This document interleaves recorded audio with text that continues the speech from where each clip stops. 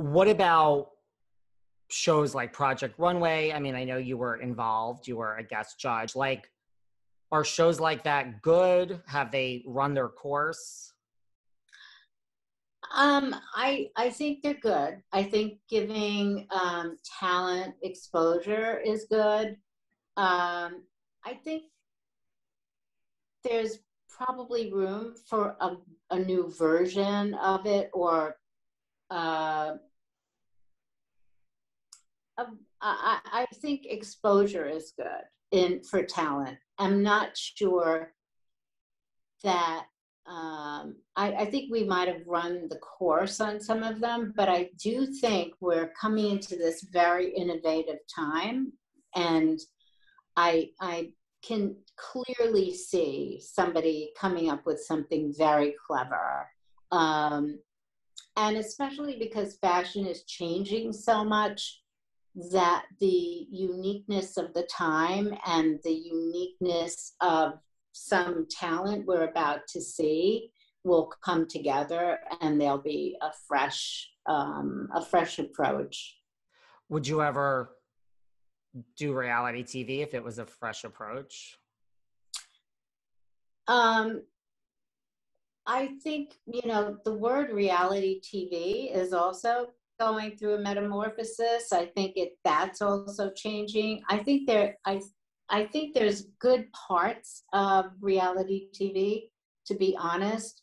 Um, but I think innovation is coming and needed in that area as well. And if it if if I felt that there was a purpose, that there was a real purpose to I don't I don't want to be celebrity so it shouldn't be it wouldn't be about me clearly. It would be more about what would this do? What kind of what what would be the end result of this and how would it affect people's lives?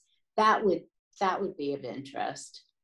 I think reality tv is changing too. I mean just based on ratings and i just think we're in a different period in the world and i do think there yeah. is this burnout of the traditional drama and we've seen it now. It's not yeah. new, it's all no. the same.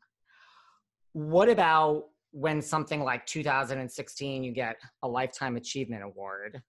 CFDA, is that oh my god this is now a moment or is it like back up everyone like i'm still here i'm not done um, I thought it was great. I, I I thought it was great because it was really um, people in the industry made that decision. And it's nice. I mean, a lot of times, um, the thing about the industry is where there's a very strong connection designers have with each other in that our business is so unique. We have to produce four collections a year. We work really hard people don't understand deadlines and that the difficulty of it. So it's like our our um, our lives are very unique, and so we connect very intimately in that way.